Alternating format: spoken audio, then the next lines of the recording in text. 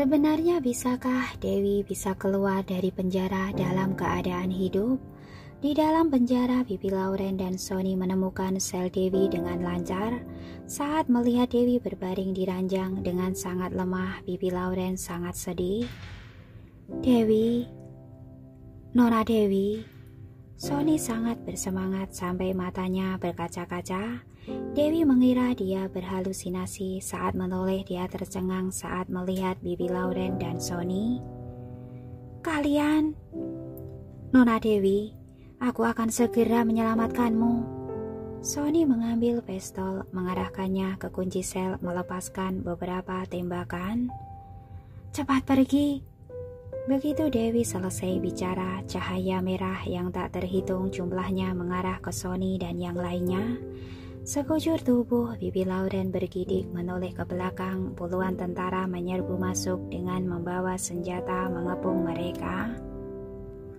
Meski dari awal sudah menduganya, tapi Sony dan yang lainnya sangat marah karena tertangkap begitu cepat. Seorang bawahan berteriak dengan marah, "Kami adalah orang-orang keluarga Mor. Siapa yang berani?" Belum selesai bicara, sebuah cahaya menghancurkan kepalanya. Bawahan tumbang ke lantai, tidak meronta sedetik pun.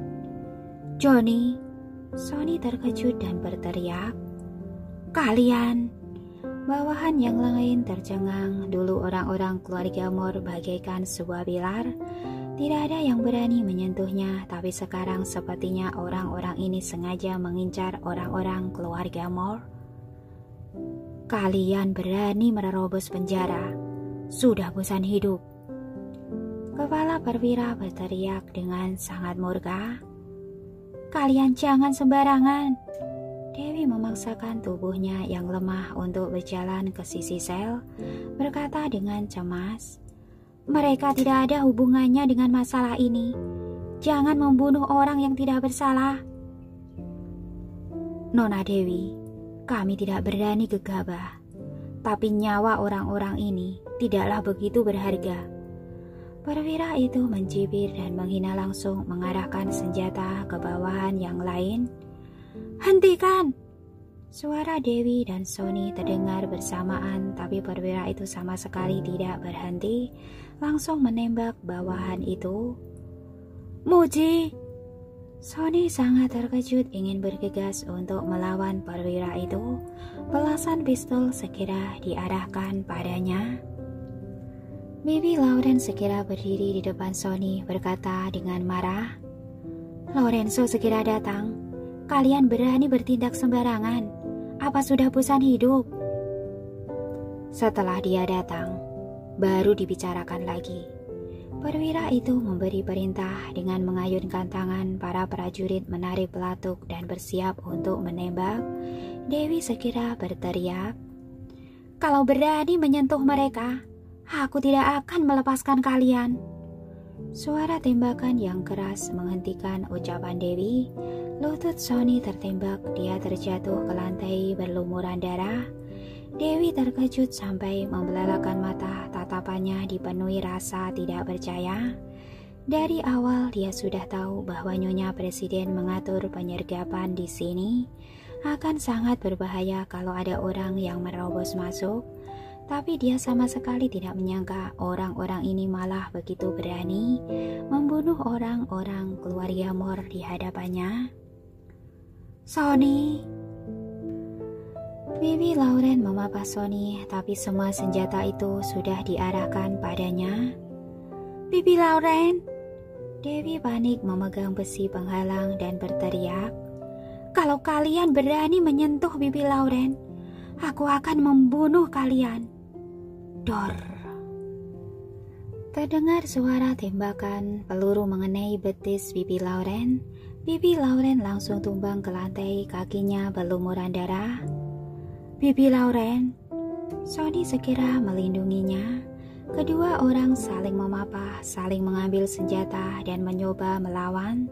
Tapi puluhan senjata diarahkan pada mereka. Di atas kepala juga ada cahaya merah yang tak terhitung jumlahnya. Meskipun mereka adalah dewa, tetap saja sulit untuk melarikan diri.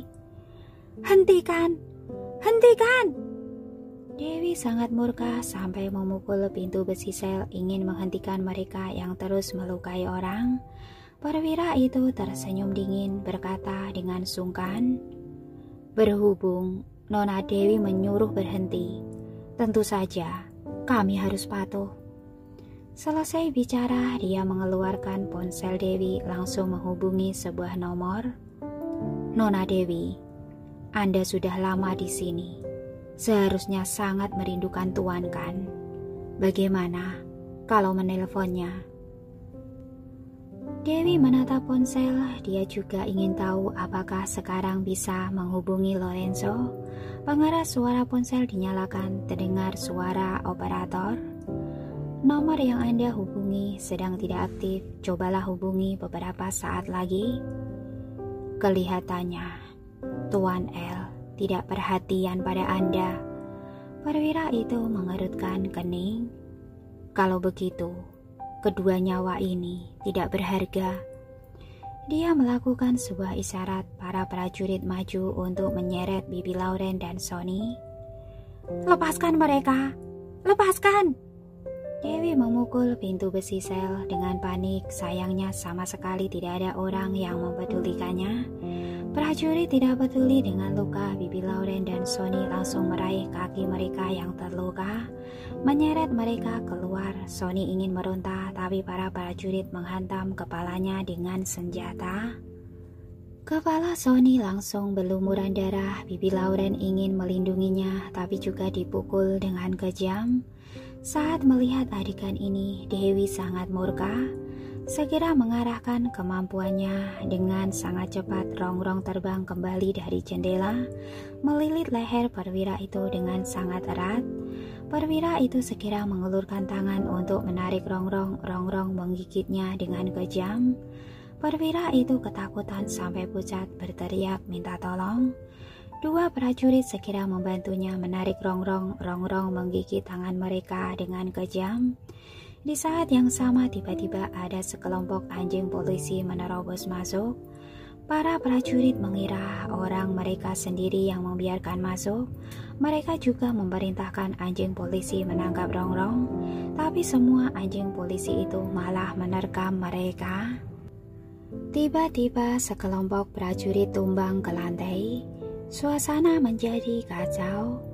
Para tentara di ruang pantau ingin memakai senjata laser untuk membereskan Bibi Lauren dan Sony, tapi takut akan melukai orang lain, maka terus tidak menembak.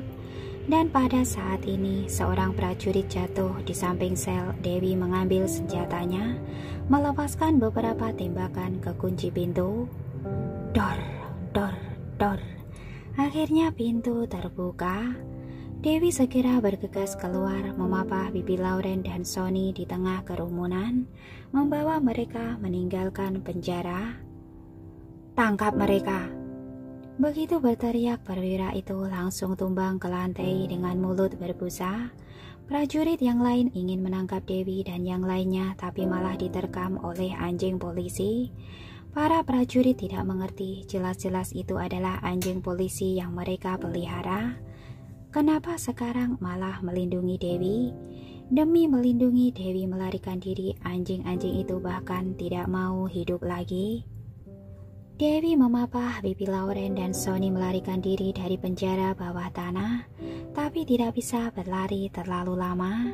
Dia sudah kelaparan selama beberapa hari sekarang seluruh tubuhnya tidak bertenaga, masih harus memapah dua orang yang terluka sama sekali tidak bisa bertahan terlalu lama. Para prajurit di belakang hampir berhasil mengejarnya. Sony mendorong Bibi Lauren dan Dewi, berkata dengan cemas, "Nona Dewi, kalian pergi dulu." "Tidak, aku tidak bisa meninggalkanmu." Dewi masih ingin memapah Sony, tapi Sony malah mendorongnya. "Cepat pergi, kalau tidak, kita semua tidak akan bisa pergi." Aku adalah orang tuan. Mereka tidak akan membunuhku. Sony, Dewi masih ingin mengatakan sesuatu, tapi Bibi Lauren memujuk.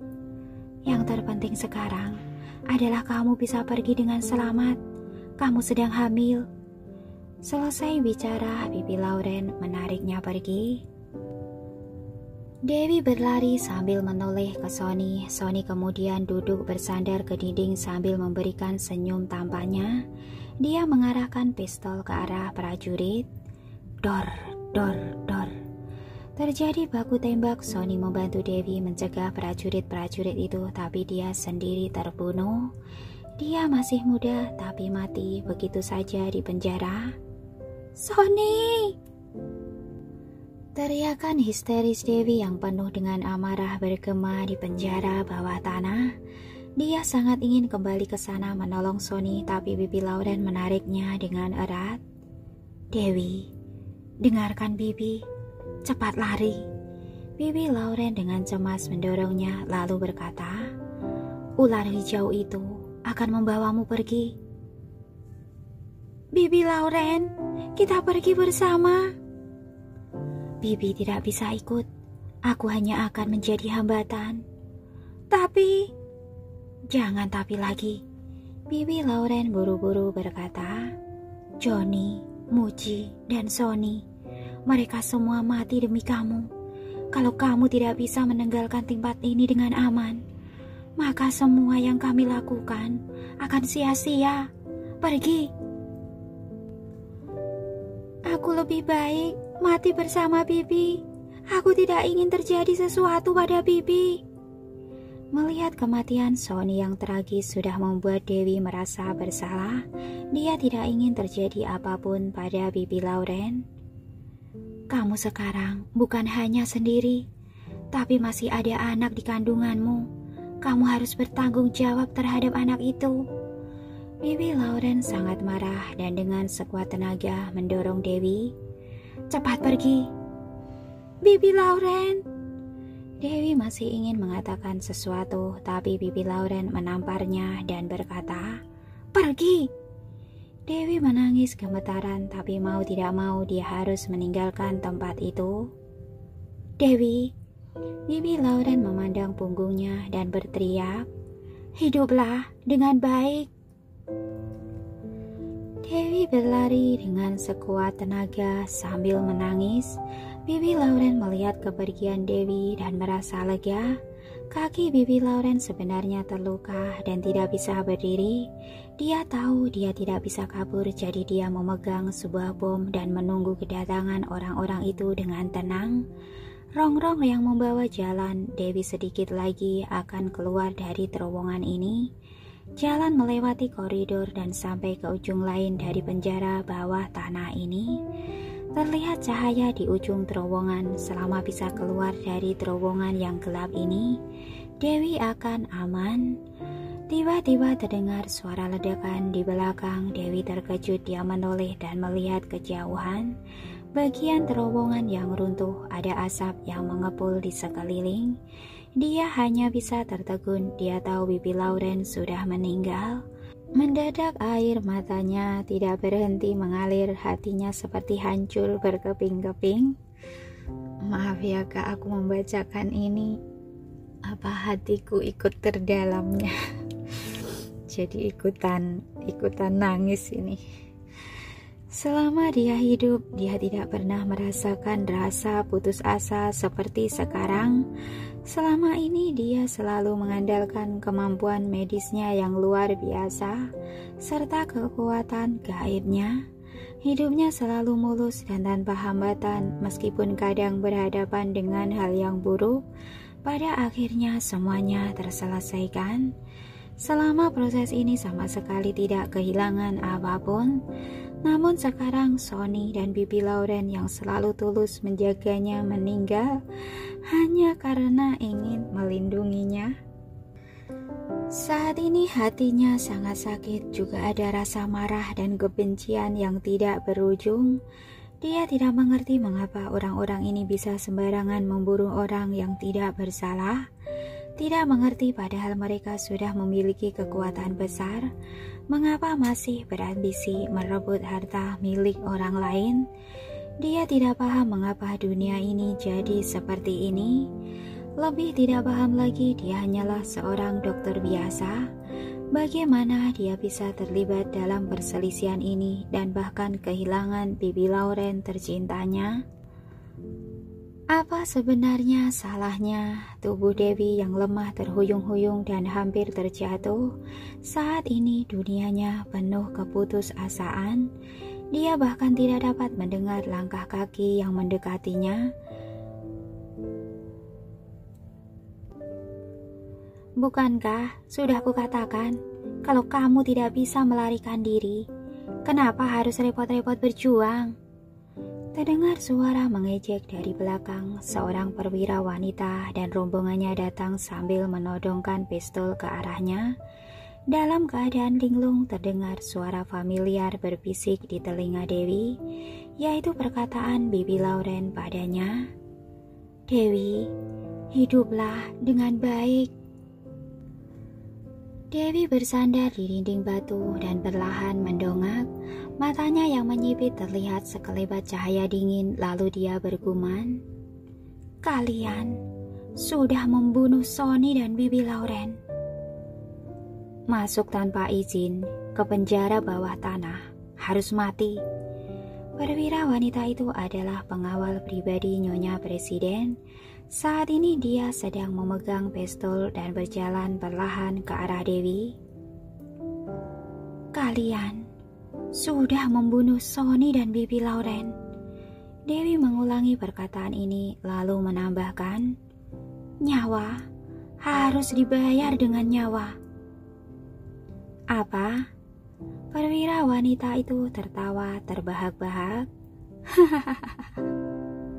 Kamu sedang bercanda. Sekarang kamu punya kemampuan apa untuk membalas kami? Hanya dengan mengandalkan ular hijau itu. Dewi tidak mengatakan apa pun, hanya menyipitkan mata dan menatap lurus ke langit. Tangkap dia. Begitu perwira wanita itu memerintahkan beberapa prajurit langsung melangkah maju dan mau menangkap Dewi, namun saat tangan mereka hendak menyentuh bahu Dewi, sebuah bayangan tiba-tiba datang dan menyerang para prajurit itu dengan ganas. Dari belakang terdengar teriakan histeris, selanjutnya darah segar memercik tubuh Dewi. Saat dia membuka matanya lagi, di matanya hanyalah aura membunuh yang kuat. Pengorbanan Bibi Lauren dan Sony telah membangunkannya. Dia tidak akan berbaik hati dan penyayang seperti dulu lagi. Itu hanya akan merugikan orang-orang di sekitarnya. Dia harus kejam dan tegas, tidak akan pernah menunjukkan belas kasihan pada orang yang mencoba menyakitinya. Elang, itu elang. Seorang prajurit berteriak, yang lain langsung menyadarinya dan buru-buru menembak elang itu. Pada saat ini, seseorang menjerit ketakutan. Astaga! Perwira wanita itu menoleh dan melihat dia tidak bisa menahan keterkejutannya. Langit dengan cepat berubah gelap. Tidak jauh dari sana ada banyak binatang berlari kencang ke arah sini. Mereka terlihat buas dan ganas. Dewi merentangkan tangannya seperti dewa yang memanggil binatang buas. Burung-burung dan binatang buas itu menyerbu dengan ganas dan menggigit perwira wanita itu serta para prajurit. Mereka belum sempat menembak tapi sudah tercabik-cabik dulu. Seketika tubuh Dewi penuh dengan darah, dia berjalan maju dengan tatapan kosong. Tapi baru saja jalan beberapa langkah, dia sudah pingsan tergeletak di lantai.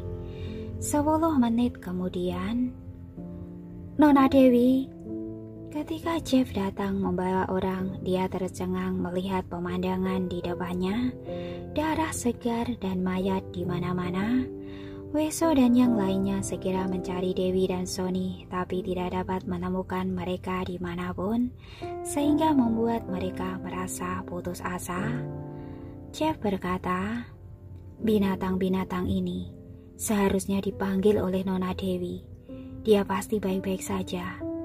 masuk ke dalam dan cari. Baik, mereka lalu masuk ke dalam dan di terowongan menemukan bangkai tubuh Bibi Lauren dan Sony. Weso dan yang lainnya teriak histeris dan memanggil nama Sony, namun Sony tidak dapat lagi membalasnya. Di dalam penjara mereka kemudian menemukan lagi bangkai tubuh Joni dan Muji. Sekarang dapat dipastikan Bibi Lauren, Sony, Joni, dan Muji sudah meninggal, sedangkan Dewi menghilang. Jeff meminta orang untuk membawa mayat-mayat mereka, kemudian membawa beberapa orang untuk mencari Dewi di sekitar. Namun hingga larut malam mereka masih belum menemukan Dewi. Saat Jeff bersiap menambah bantuan orang, Jasper menelpon bertanya keadaan Dewi. Jeff dengan ragu-ragu bilang Dewi menghilang. Jasper terkejut buru-buru menutup speaker dan bertanya, Bagaimana bisa begitu? Ceritanya sangat panjang. Jeff menceritakan semuanya pada Jasper setelah mendengarnya. Jasper dengan cemas membalas, "Bagaimana ini bisa terjadi?" Aku juga sangat gelisah. Seharusnya memberitahu Sony lebih awal. Aku juga tidak menyangka mereka begitu tergesa-gesa bersama Bibi Lauren pergi menyelamatkan Nona Dewi dulu tanpa menungguku kembali. Jeff sangat bersalah. Aku masih di sekitar mencari Nona Dewi. Semoga dia baik-baik saja. Kita harus menemukannya. Kalau tidak, saat Tuan sadar, maka aku tahu